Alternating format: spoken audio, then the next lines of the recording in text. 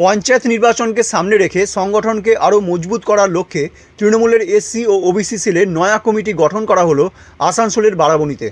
বারাবণীর পানুরিয়া তৃণমূল কার্যালয়ে অনুষ্ঠিত এদিনের কর্মসূচিতে উপস্থিত ছিলেন ব্লক তৃণমূল সভাপতি অসিত সিং, সংগঠনের জেলা সভাপতি মোহন ধীবর সহ অন্যান্য তৃণমূল নেতৃত্ব। নবনিযুক্ত কমিটির পঁচিশ জন সদস্যের হাতে মানপত্র তুলে দেওয়া হয়।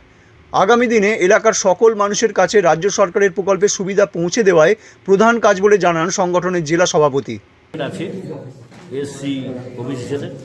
উনি বিস্তারিতভাবে আপনাদেরকে জানাবেন। এবং আমরা যেহেতু সংগঠনের সঙ্গে যুক্ত থাকি, তাই তাদেরকে বলব যে দায়িত্ব তাদেরকে দেওয়া হয়েছে, সেটা যাতে তারা পালন করে। এবং মানুষের সাথে থাকে, মানুষের পাশে আছে। দিদি যেটা নির্দেশ দিয়েছেন। এবং সামনে পঞ্চায়েত ইলেকশন আসছেন। তারা নতুন দায়িত্ব পেয়েছে, প্রচুর ইয়ং জেনারেশনকে দায়িত্ব দেওয়া হয়েছে। এবং তারা এসসি এবং ওবিসি ছেলের সংগঠনটাকে যাতে তারা বাড়াতে পারে। তার জন্য যাকে দরকার তাকে ডেকে যারা জিপি প্রেসিডেন্ট হয়েছে মিটিং অর্গানাইজ করুক, আমরা সবসময় তাদের সাথে আছি, পাশে আছি। এমন একটা কমিটি বা এমন একটা সংগঠন এখানে গড়ে তুলতে হবে যে যেসব বিরোধী দলগুলো আছে, যারা দীর্ঘদিন ধরে আমাদের এসসি সম্প্রদায়ের মানুষকে খালি ভোট ব্যাংক হিসাবে ইউজ করে গেছে, কিন্তু তাদের প্রকৃত কোনো উন্নয়ন করেনি।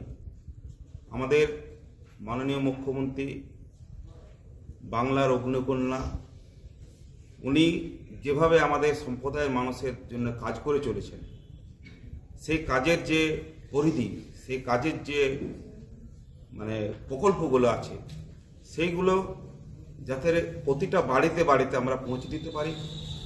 এবং আমাদের সংগঠনের একটাই উদ্দেশ্য যে আমাদের সম্প্রদায়ের বহু মানুষ এখনও পর্যন্ত তারা তাদের কাগজপত্র ঠিকঠাক করে রাখতে পারেনি।